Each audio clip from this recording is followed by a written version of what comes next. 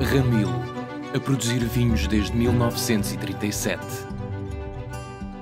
Uh, estamos aqui na nossa vinha de Colares, foi plantada num terreno que pertencia também à nossa família, era do lado da minha mãe, já de várias gerações, e é uma vinha que tem 2 hectares, este é um terreno de 3 hectares, nós hum, até agora plantámos dois, mas a ideia será eh, continuarmos a plantar e contarmos o, o, hectare que falta. Esta vinha está dividida em duas partes. Temos a malvasia na parte inferior, que é onde nós temos um terreno mais fértil, onde temos mais disponibilidade de água, e temos o, o, o ramisco na parte superior, onde temos melhor drenagem e onde temos condições para uh, amadurecer melhor as uvas. Neste momento estamos aqui no, na nossa parcela de ramisco, Ramisco é uma casta um, muito particular, um, tem produtividades bastante baixas uh, e aqui em Colares é um dos poucos sítios uh, no país onde podemos encontrar uh, esta casta. Precisamos orientar a, a videira praticamente a 30 a 40 centímetros do solo.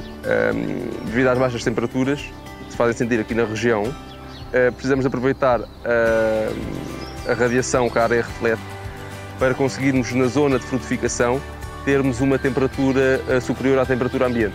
Neste momento estamos no talhão da malvasia, ehm, também em chão de areia, estamos em Claros.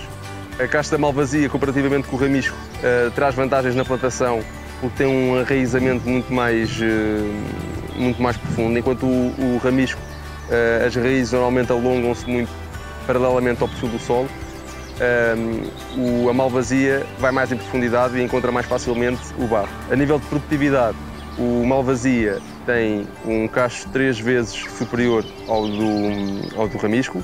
No ramisco temos um cacho com 60, 70 gramas uh, em média. Aqui no malvasia conseguimos em média um cacho de 160, 180 gramas. A produtividade por hectare, obviamente, uh, é muito superior, um, apesar das fertilidades, tanto no ramisco como na malvasia, andarem uh, lado a lado. O que se prende aqui, a grande diferença aqui é no, no, no, peso do cacho. Nós, quando decidimos plantar esta vinha, isto foi um trabalho de vários anos, porque a área de vinha era tão reduzida que não se conseguia encontrar varas suficientes para plantar esta vinha num só ano. Temos que escavar a areia, temos que encontrar o barro, temos que plantar em pé franco no barro e depois teve a dificuldade burocrática de, de encontrar autorizações, de contornar uma data de coisas que a legislação não contempla, porque isto é tão diferente que não, encaixa, não encaixava, pelo menos na altura, na legislação existente. Não foi fácil, mas nós sempre acreditámos que isto aqui valia a pena, que isto era realmente uma coisa única e que valia a pena o esforço. E até agora compensou.